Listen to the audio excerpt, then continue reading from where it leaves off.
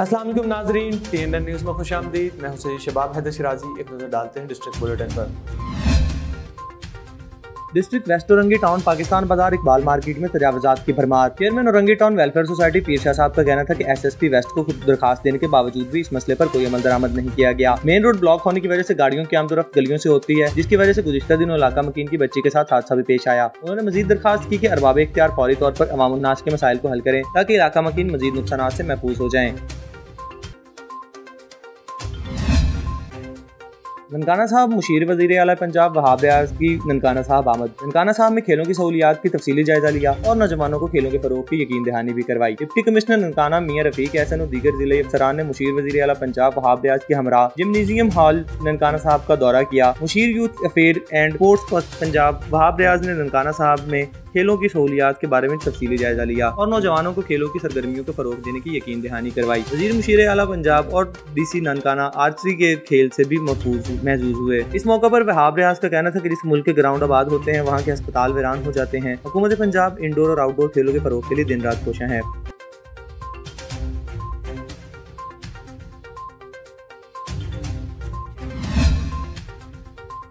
Pakistan rangers Sindh की जानब से साहली पट्टी में मुतव तौर पर समंदरी तूफ़ान की जद में आने वाले देहात की रिहायशियों को महफूज मुकाम पर मुंतकली का अमल जारी। सिंध रेंजर्स की जानब से रेस्क्यू कामों में सिविल इंतजामिया के साथ मिलकर लोगों का इनकलाब भी भरपूर मामूलत फ्राहम की जा रही है। बदीन के महलका इलाकों में मुख्तलिफ़ रिलीफ कैंप लगाए गए हैं। बारिशों और सैलाब के पेश नज़र वबाई, इमराज से बचाव और दीगर तबी इमदाद के लिए रेंजर्स की जानब से फ्री मेडिकल कैंप कायम कर दिए गए हैं। आवाम से दरखास्त की जाती है की महफूज इलाकों में मुंतकली मकानी के सिलसिले में रेंजर्स और सिविल इंतजामिया के साथ भरपूर तावन करें ताकि कीमती जानों को महफूज बनाया जा सके।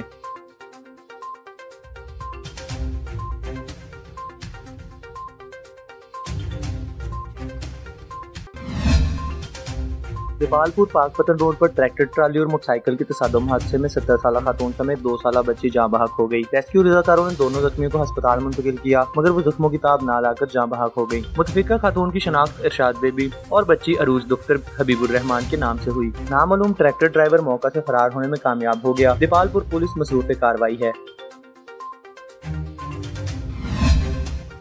जलालपुर फाटिया से मोहम्मद सरवर की रिपोर्ट के मुताबिक वापडा की नाहली और गफलत का मुँह बोलता सबूत नंगी तारे ज़मीन पर पड़ी। वापडा एहलकार किसी बड़े हादसे के इंतज़ार में मोहल्ला इकबालपुरा बंद रोड नज़दीक चौक यारसोल्ला में बिजली की मेन नंगी तारे ज़मीन पर पड़ी हैं। बड़े हादसे का खदशा मुतद बार वापडा की चक्कर लगाए, मगर कोई सुनवाई ना हुई। आए दिन किसी न किसी शख्स छोटे बच्चे जानवर को करंट लगता है। अहले मोहल्ला परेशान वापडा की नाहली के खिलाफ अहले मोहल्ला का शदीद एहतजाज। वापडा मुर्दाबाद के नारे भी लगाए। अहले मोहल्ला ने वापडा जलालपुर पार्टियाँ से मुतालबा किया है कि फौरी बिजली की तारें उठाई जाए।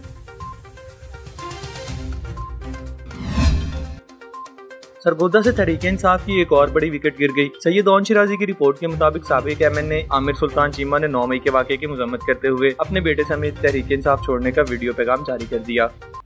मैं आमिर सुल्तान चीमा सबक एम एन ए और मेरा बेटा मनीब सुल्तान चीमा सबक एम पी है। हम नौ मई के वाकत की पुरजोर मजम्मत करते हैं और पी टी आई से लदगी का ऐलान करते हैं।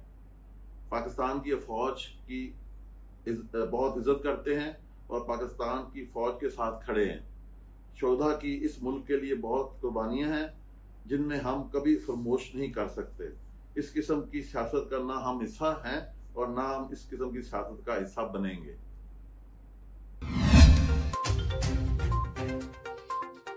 पिंडी पटिया फैसलाबाद मोटरवे पर लगाई गई लोहे की शेड दीवार टूट फूट का शिकार। किसी भी वक्त बड़ा हादसा रोनुमा हो सकता है। मोहम्मद सरवर की रिपोर्ट के मुताबिक पिंडी पटिया फैसलाबाद मोटरवे पर लगाई हुई लोहे की शेड दीवार टूट फूट का शिकार। किसी भी वक्त कोई बड़ा हादसा रोनुमा हो सकता है। पिंडी पटिया Faisalabad motorway flyover Lahore GT road नज़दीक पिपीगी पर लगाई गई। लोहे की दीवार टूट चुकी है। किसी वक्त भी ये शेड आंधी या तेज हवा से मोटरवे पर गिर सकती है, जिसकी वजह से कोई बड़ा हादसा पेश आ सकता है। नेशनल हाईवे वीज़ा अथॉरिटी और मोटरवे पुलिस को इसका फौरी नोटिस लेना चाहिए, ताकि ये उखड़ी शेड मोटरवे पर किसी बड़े हादसे की वजह न बन सके।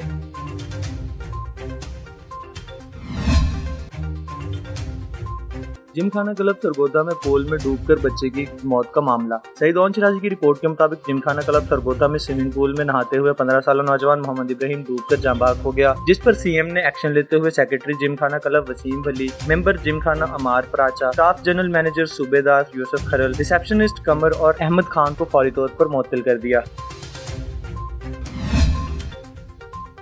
वज़ीर अला सिंध सईद मुराद अली शाह शहर के मुख्त इलाकों का दौरा। वज़ीर अला सिंध शहर में लगे हुए बिल बोर्ड और दीगर कमज़ोर तनसीबात का जायजा लेंगे। वज़ीर अला सिंध ने कल बिल बोर्ड हटाने की हदायत दी थी। वज़ीर अला सिंध शहर के कुछ मखदूम अमारतों का जायजा भी लेंगे। वज़ीर अला के साथ चीफ सेक्रेटरी और कमिश्नर कराची भी मौजूद। वज़ीर अला सिंध सईद मुराद अली शाह शाहराय फैसल पहुँच गए। एफ़ टी सी और नर्सरी पर साइन बोर्ड पर और बिल बोर्ड का जायजा लिया। कुछ मुकाम पर बोर्ड लगे हुए हैं। वज़ीर अला सिंध की फौरी हटाने की हदायत। वज़ीर अला सिंध ने बोर्ड के साथ इनके लोहे फाउंडेशन या फ्रेम भी उतारने की हदायत दी है।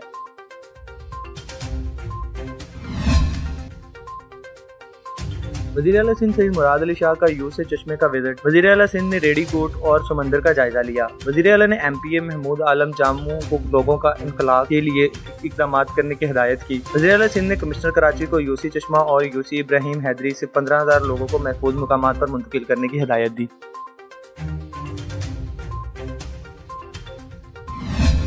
अब तक के लिए इतना ही। मजीद खबरें देखने के लिए देखते रहिए टी एन एन न्यूज़